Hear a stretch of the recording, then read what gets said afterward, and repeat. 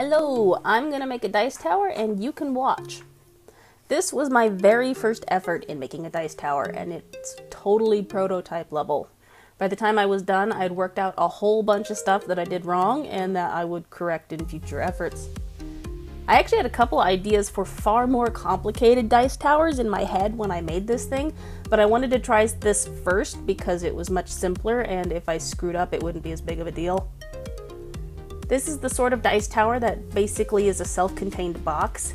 It's got a lid that you remove, but then you set the tower into the box on its end so that the box's lid becomes the catch area at the bottom. I'd seen several variations on this idea on other places and wanted to take a crack at designing one for myself using my laser cutter.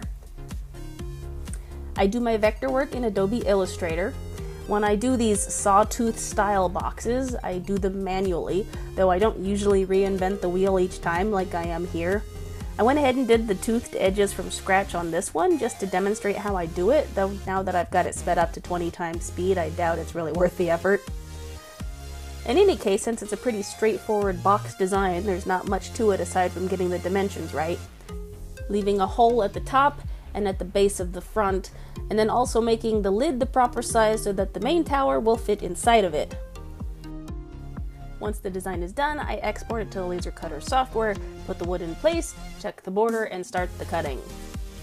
After cutting, while removing the wood from the laser cutter, I discovered that the plywood had a knot on the innermost layer and it had blocked the laser in a small area. I hate it when that happens, it's very annoying. I had to go in and cut it with an X-Acto knife.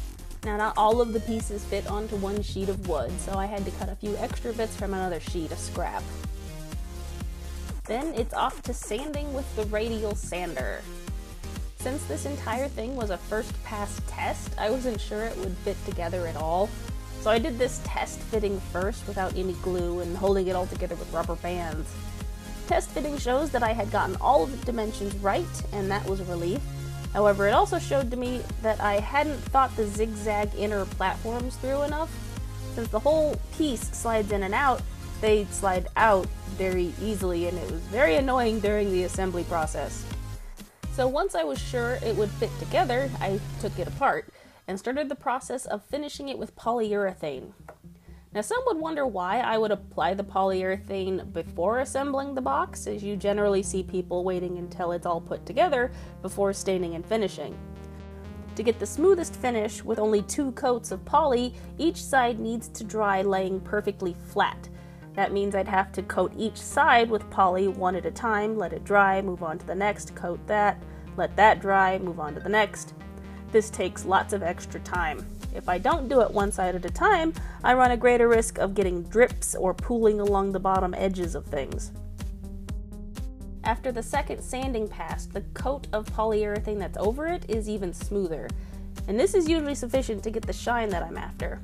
If the second coat isn't sufficient, or if there are problems like with glue smudging that happen while I'm assembling it, then I do sometimes put on a third coat of poly, and I'll do that after assembly. But I like to avoid doing this because it does add extra time, and once it's assembled, I do have to do that whole one side at a time thing to avoid the dripping. I assemble the box with normal wood glue. I apply the glue with little toothpick between all of the notches, and I hold it together with clamps and rubber bands. And finally, I'm done. I learned a lot from the process of this one, and I have already applied it to other projects. In fact, I've got another uh, dice tower that I made that's got this very cool elven design. It's one of the ones that I had in mind that made me decide to do this in the first place. So I'm going to post that one up too. I've also already modified the design file for this box so that the next time I make it, it's going to be better and won't have as many weird little hiccups along the way that this one had. As far as making another one of these, I could also easily fancy it up with little designs, just uh, the kind that are etched into the side to make it look cooler. Overall, for working from scratch and just kind of making it up as I went, I think it turned out pretty good. I like the shine, the finish was real nice, and it was successful. It fits, it's good, I'm happy, and I'm done. Hope you enjoyed watching me make this. Uh, if you want to see me make more of them, you can subscribe. If you like the video, do the little thumbs uppy thing. And I think we're done. We're good. Alright. Bye bye.